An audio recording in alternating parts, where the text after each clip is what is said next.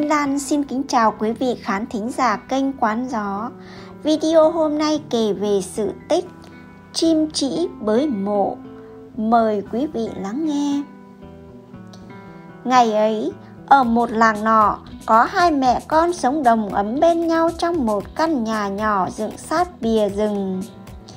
Người con trai đã lớn, hàng ngày vác cung nỏ vào rừng săn bắn, còn người mẹ thì chăm sóc vườn nương. Hôm ấy chàng trai đi vào rừng sâu nhưng cả ngày không bắn được con thú nào. Khi sắp sửa ra về, chàng bắt gặp một con trĩ, liền dương cung bắn nó. Về nhà, hai mẹ con nướng con chim để dùng nó cho bữa tối. Trên mâm gỗ là con chim chi vàng ươm đang bốc hơi nóng. Người con trai định cầm con chim lên xé thịt thì bỗng hắt hơi mấy cái liền. Bà mẹ thấy vậy định làm thay con thì cũng bị hắt hơi như vậy. Bà liền nói với con mình, Thôi con ạ, à, chắc thần linh không cho mẹ con ta được ăn thịt chim rồi, ta chịu khó ăn cơm với muối vậy. Xong bữa, người mẹ cầm con chim còn nguyên vẹn đặt lên giàn bếp. Hôm sau, công việc của hai mẹ con vẫn diễn ra như thường lệ. Người mẹ đi làm nương, anh con trai vào rừng săn bắn, đến tối mới về. Nhưng khi cả hai về đến nhà, một điều kỳ lạ đã xảy ra. Nhà cửa đã được dọn dẹp sạch sẽ tươm tất.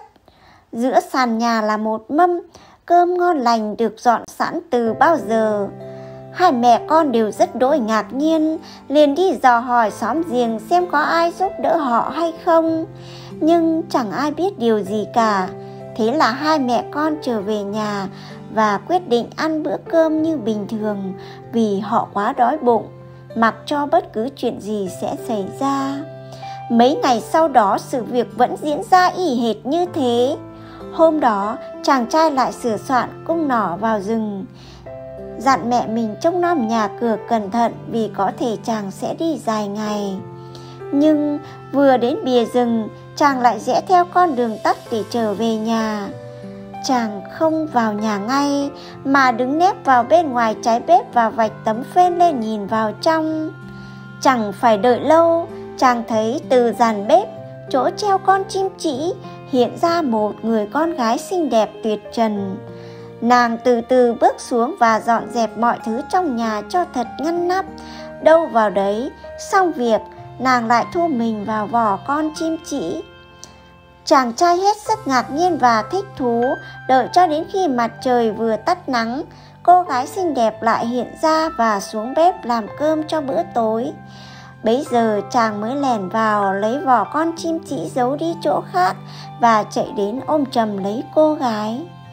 Cô gái hoảng hốt đẩy chàng ra, định chui vào vỏ chim, nhưng chiếc vỏ quen thuộc không còn trên giàn bếp nữa, bất đắc dĩ chàng phải đành đứng lại. Trước sự hỏi han dối rít của chàng trai, nàng bèn kể, Thiếp là con gái vua của các loài chim ở xứ sở mặt trời. Trên đường bay về cùng cả đàn, do ham chơi nên bị lạc đường, mắc nạn ở đây. Mang ơn hai mẹ con chàng đã không ăn thịt nên tiếp tìm cách báo đền một thời gian, không ngờ bây giờ đã bị chàng phát hiện. Đúng lúc đó, mẹ chàng trai trở về nhà, nghe qua sự tình, bà vui vẻ khôn xiết và bảo, đây đúng là duyên nợ của hai mẹ con. Thôi, con gái yêu, con không phải đi đâu nữa, hãy ở đây cùng mẹ con ta. Từ đó, hai người thành vợ chồng. Một năm sau, đứa con đầu lòng của họ ra đời. Khi đứa bé được vài tháng tuổi thì cũng là lúc mùa thu hoạch đến. Người chồng định nghỉ việc săn bắn để lên dãy cắt hái thì người vợ liền nói Chàng cứ đi săn đi, việc thu hoạch hãy để thiếp lo liệu Còn mẹ, xin mẹ ở nhà trông nom cháu, đừng lên dãy làm gì Người chồng thấy thương vợ hỏi Liệu mình nàng có làm nổi không? Người vợ trả lời Chàng cứ yên tâm, nhớ nhắc lại với mẹ đừng có lên giấy. Người chồng nghe lời vợ vác cung nỏ đi săn, người vợ mang gùi lên dãy hái lúa, tới nơi nàng biến thành chim và nhờ họ hàng nhà chim cùng tốt lúa với mình. Chẳng mấy chốc kho lúa đã gần đầy, dãy đã tốt xong quá, nửa ở nhà người mẹ cảm thấy nóng ruột, sợ con dâu không tuốt lúa kịp. Lại thêm đứa bé khát sữa cứ khóc váng lên, bà liền điệu cháu lên dãy. Lên tới dãy, bà không thấy nàng dâu đâu cả, Chỉ thấy bộ váy quen thuộc để trên tảng đá. Còn trên dãy hàng trăm con chim đang thi nhau mổ thóc. Bà tức giận lấy đá ném vào đàn chim. Đàn chim hoảng sợ bay tan tác Người con dâu vẫn không thấy đâu Bà liền nhặt bộ váy áo nàng lên và điệu cháu quay trở về nhà. Khi người con trai về tới nơi bà vội vàng kể lại. Vợ con nói lên giấy tốt lúa nhưng lại bỏ đi chơi, váy áo vứt lại để chim chóc tha hồ ăn hết lúa. May lúc đó mẹ lên tới nơi đã đuổi lũ chim đi và mang bộ váy về đây. Nghe vậy, người chồng vội vàng chạy lên dãy xem sao, thì thấy lúa đã gần đầy kho, còn dãy thì vắng lặng. Chàng chợt hiểu ra mọi chuyện, bèn chạy khắp rừng núi gọi tên vợ, nhưng tuyệt nhiên không nghe thấy tiếng hồi âm. Chàng về nhà ôm con than khóc, Tiếng khóc thương vợ ai oán hàng đêm của người chồng đã vượt qua bao núi đèo sông suối nương rẫy, tìm đến nơi xa xôi có vua các loài chim ở đó. Nơi đây người vợ chim chỉ nghe tiếng khóc than của chồng, liền tìm cách bay về. Trên cành cây cao trước cửa nhà chàng trai, chim chí kêu rằng Hỡi chàng ơi, hãy theo ta về xứ mặt trời, xin với vua cha cho cùng sum họp. Nghe vậy, người chồng cõng con chạy theo chim, vượt qua bao núi rừng, bao gành thác. Người chồng cam lòng hứng chịu mọi nỗi gian truân vất vả, nhưng đứa bé thì không thể chịu đựng được. Nó đã chết trên lưng người cha.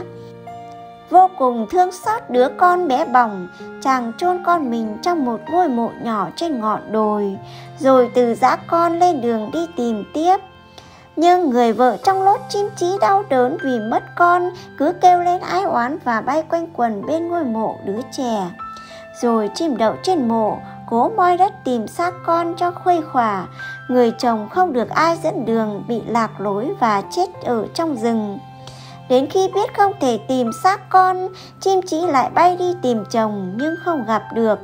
Mất chồng, mất con, chim không muốn trở về với vua cha nữa mà cứ tha thần trong rừng sâu rồi cũng quên mất đường về, quên cả đường đi tới mộ con. Từ đó hễ thấy ở đâu có mộ, chim chỉ lại ngỡ đó là mộ của con mình nên cứ ra sức đào bới. Cho đến tận bây giờ, mỗi khi chim chỉ bới mộ, nhiều người vẫn không khỏi chạnh lòng bởi tiếng chim kêu não nuột như oán hờn, như ân hận điều gì của loài chim này.